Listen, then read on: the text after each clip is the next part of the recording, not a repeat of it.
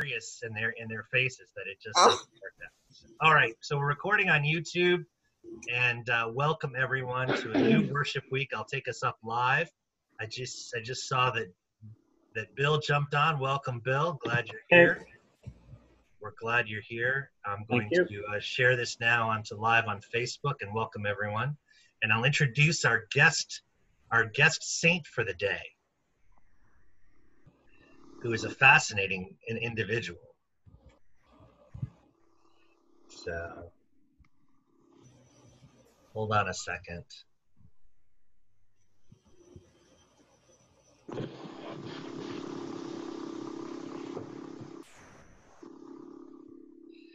All Laura. I like your purple chair. Mm. It's black. It looks purple. Now I'm getting a new camera so you can see what the what the world really looks like in my house. It's really black. That's funny. All right, here we go. Taking us live. Sorry, we're a little late today, folks. We're a minute late on the on the uh, live cast. We were having fun talking about all the lovely all the lovely things we did over the weekend. Mostly me spouting, so forgive me that. All right, go.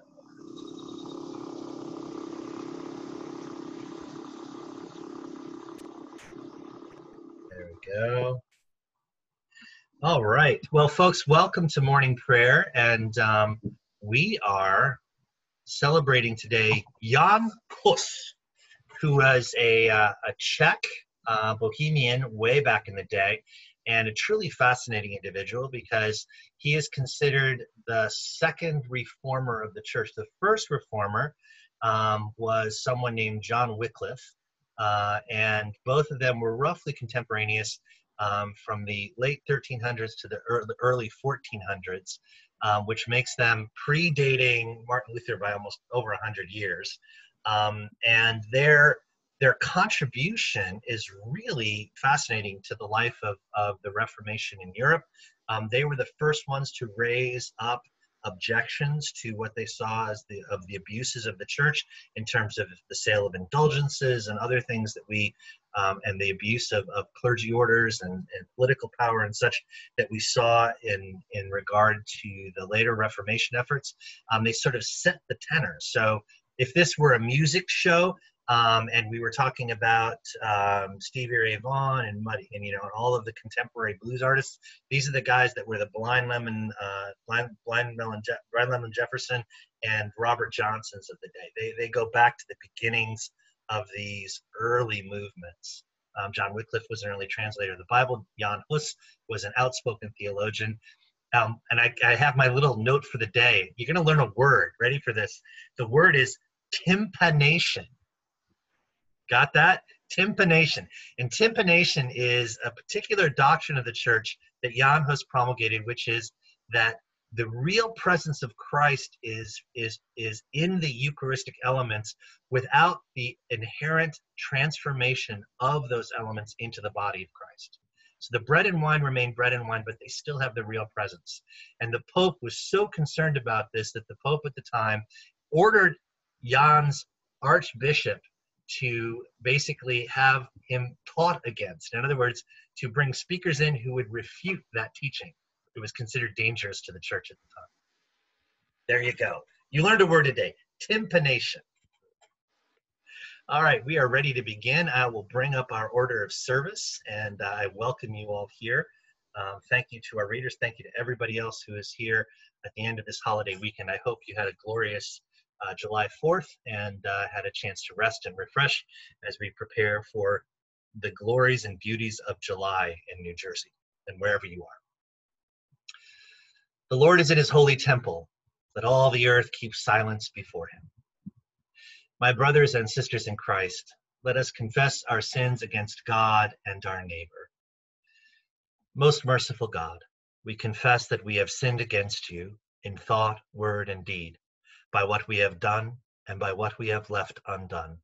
We have not loved you with our whole heart. We have not loved our neighbors as ourselves. We are truly sorry and we humbly repent.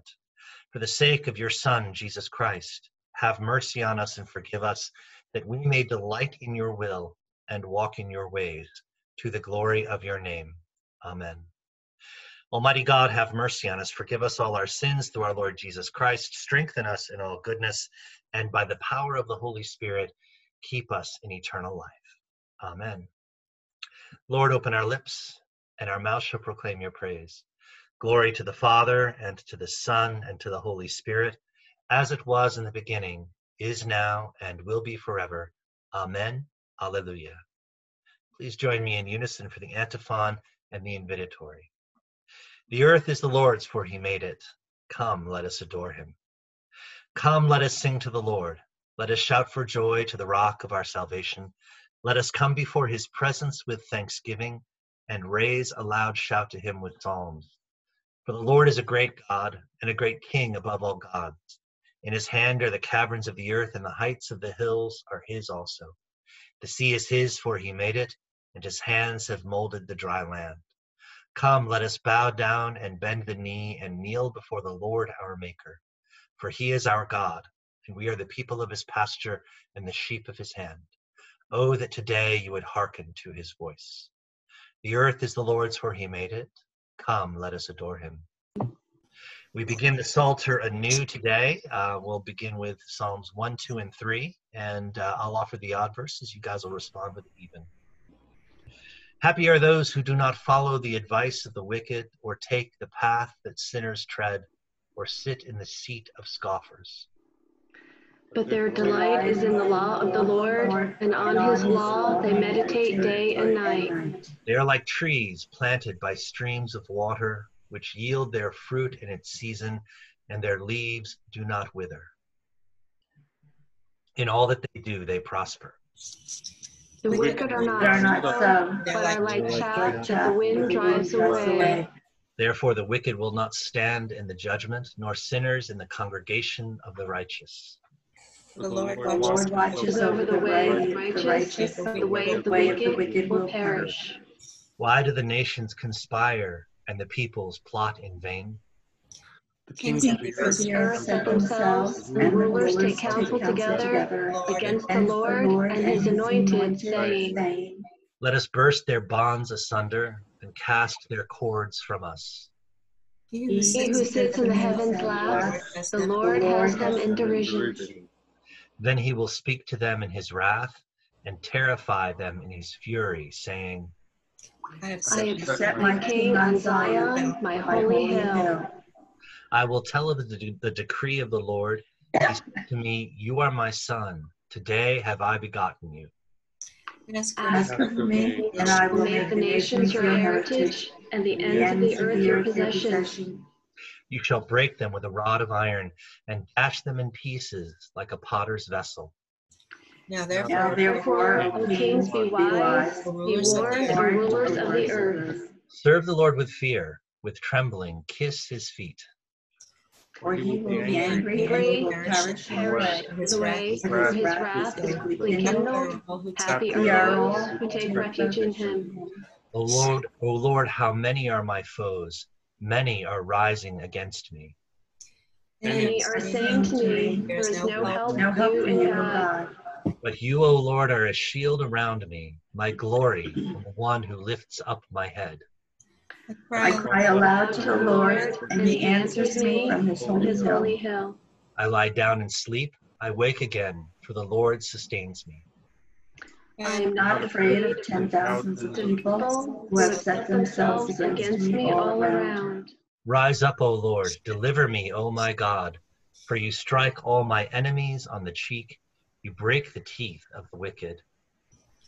Deliverance belongs to the Lord. Lord, May your blessing be on your people. Glory to the Father, and to the Son, and to the Holy Spirit, as it was in the beginning, is now, and will be forever. Amen.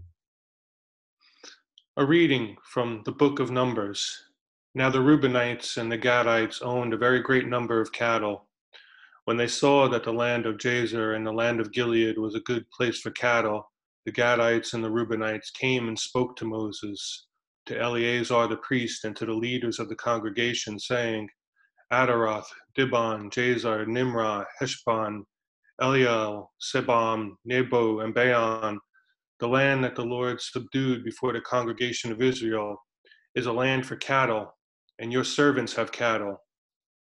They continued, If we have found favor in your sight, let this land be given to your servants for a possession. Do not make us cross the Jordan. But Moses said to the Gadites and to the Reubenites, Shall your brothers go to war while you sit here? Then they came up to him and said, We will build sheepfolds here for our flocks and towns for our little ones, but we will take up arms as a vanguard before the Israelites until we have brought them to their place. Meanwhile, our little ones will stay in the fortified towns because of the inhabitants of the land.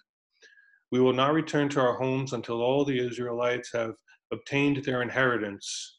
We will not inherit with them on the other side of the Jordan and beyond, because our inheritance has come to us on this side of the Jordan to the east. So Moses said to them, If you do this, if you take up arms to go before the Lord for the war, and all those of you who bear arms cross the Jordan before the Lord, until he has driven out his enemies from before him, and the land is subdued before the Lord, then after that you may return and be free of obligation to the Lord and to Israel, and this land shall be your possession before the Lord. But if you do not do this, you have sinned against the Lord, and be sure your sin will find you out. Build towns for your little ones and folds for your flocks, but do what you have promised. Then the Gadites and the Reubenites said to Moses, Your servants will do as my Lord commands. Our little ones, our wives, our flocks, and all our livestock shall remain there in the towns of Gilead. But your servants will cross over, everyone armed for war, to do battle for the Lord, just as my Lord orders. The word of the Lord. Thanks be to God. Our first canticle this morning, the Song of Isaiah, the first Song of Isaiah, please. In unison. Surely it is God who saves me. I will trust in him and not be afraid. For the Lord is my stronghold and my sure defense, and he will be my savior. Therefore you shall draw water with rejoicing from the springs of salvation. And on that day you shall say, Give thanks to the Lord and call upon his name. Make his deeds known among the peoples. See that they remember that his name is exalted. Sing the praises of the Lord, for he has done great things, and this is known in all the world. Cry aloud, inhabitants of Zion, ring out your joy, for the great one in the midst of you is the Holy One of Israel. Glory to the Father, and to the Son, and to the Holy Spirit, as it was in the beginning, is now, and will be forever. Amen. A reading from Paul's letter to the church in Rome. Likewise, the Spirit helps us in our weakness, for we do not know how to pray as we ought, but that very Spirit intercedes with sighs, too deep for words. And God, who searches the heart, knows what is the mind of the Spirit, because the Spirit intercedes for the saints according to the will of God. We know that all things work together for good for those who love God, who are called according to his purpose. For those whom he foreknew, he also predestined to be conformed to the image of his Son, in order that he might be the firstborn within a large family. And those whom he predestined, he also called. And those whom he also who he called, he also justified and those whom he justified, he also glorified. The word of the Lord. Thanks be to God. Our second canticle, the Song of the Redeemed. O ruler of the universe, Lord God, great deeds are they that you have done, surpassing human understanding. Your ways are ways of righteousness and truth, O King of all the ages. Who can fail to do you homage, Lord, and sing the praises of your name? For you only are the Holy One. All nations will draw near and fall down before you, because your just and holy works have been revealed. Glory to the Father, and to the Son, and to the Holy Spirit, as it was in the beginning, is now, and will be forever. Amen. The Creed. I believe in God, the Father Almighty, creator of heaven and earth. I believe in Jesus Christ, his only Son, our Lord. He was conceived by the power of the Holy Spirit and born of the Virgin Mary. He suffered under Pontius Pilate, was crucified, died, and was buried. He descended to the dead. On the third day he rose again. He ascended into heaven and is seated at the right hand of the Father. He will come again to judge the living and the dead. I believe in the Holy Spirit, the Holy Catholic Church, the communion of saints, the forgiveness of sins, the resurrection of the body, and the life everlasting. Amen. The Lord be with you. Let us pray. Our Father in heaven, hallowed be your name. Your kingdom come, your will be done, on earth as in heaven. Give us today our daily bread. Forgive us our sins as we forgive those who sin against us. Save us from the time of trial and deliver us from evil. For the kingdom, the power, and the glory are yours, now and forever. Amen. Please join in the suffrages. Show us your mercy, O Lord. And grant us your Your salvation. salvation, Clothe your ministers with righteousness.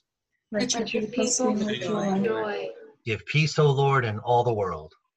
For only in you can can we live in safety. safety. Lord, keep this nation under your care. And guide And us in the way of of justice. justice. Let your way be known upon earth. Your saving health among all nations. Let not the needy, O Lord, be forgotten. Nor the hope the The hope of the poor be taken away. Create in us clean hearts, O God. And sustain us with sustain your Holy Spirit. Holy Holy Spirit, Faithful God, you gave Jan Hus the courage to confess your truth and recall your church to the image of Christ. Enable us, inspired by his example, to bear witness against corruption and never cease to pray for our enemies, that we may prove faithful followers of our Savior Jesus Christ, who lives and reigns with you in the Holy Spirit, one God, forever and ever. Amen. God, the author of peace and lover of concord, to know you is eternal life and to serve you is perfect freedom. Defend us, your humble servants, in all the assaults of our enemies, that we, surely trusting in your defense, may not fear the power of any adversaries, through the might of Jesus Christ our Lord. Amen. Almighty and everlasting God, by whose Spirit the whole body of your faithful people is governed and sanctified, receive our supplications and prayers which we offer before you for all members of your holy church, that in their vocation and ministry they may truly and devoutly serve you through our Lord and Savior, Jesus Christ. Amen. Please join me in a prayer attributed to St. Francis. Lord, make us instruments of your peace. Where there is hatred, let us sow love. Where there is injury, pardon. Where there is discord, union. Where there is doubt, faith. Where there is despair, hope. Where there is darkness, light. Where there is sadness, joy. Grant that we may not so much seek to be consoled as to console, to be understood as to understand, to be loved as to love. For it is in giving that we receive, receive. it is in pardoning we are pardoned, and it is in dying we are born to eternal life. Amen. I invite your prayers of intercession and thanksgiving.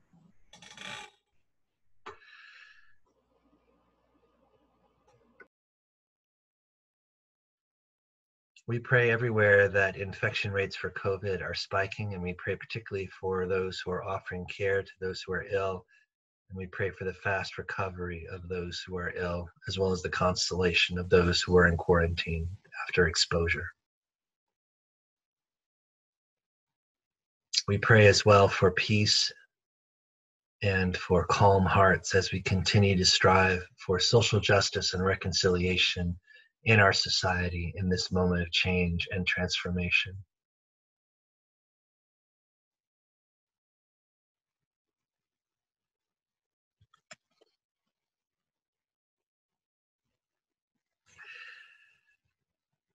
Grant, O God, that your holy and life giving spirit may so move every human heart, and especially the hearts of the people of this land, that barriers which divide us may crumble, suspicions disappear, and hatreds cease.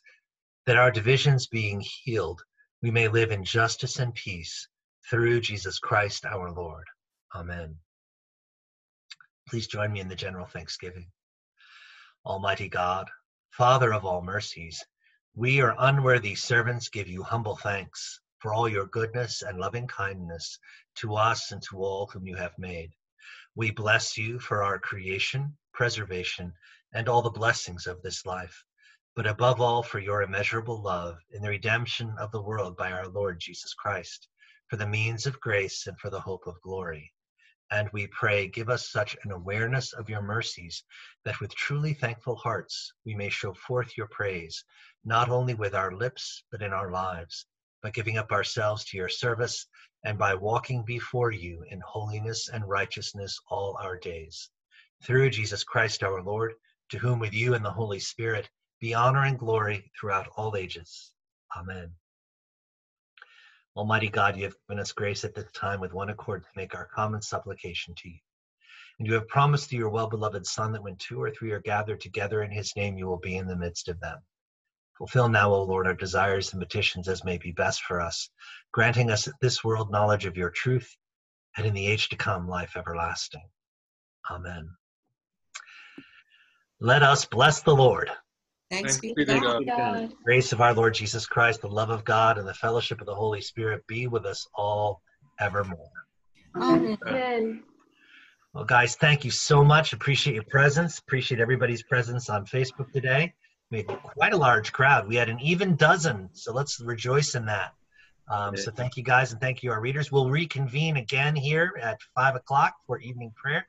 Hope you can join us on Facebook Live, and of course, we'll upload this uh, office to YouTube as fast as we are done. So we thank you for your presence today. Let's give a wave as we end the live cast and also Bye.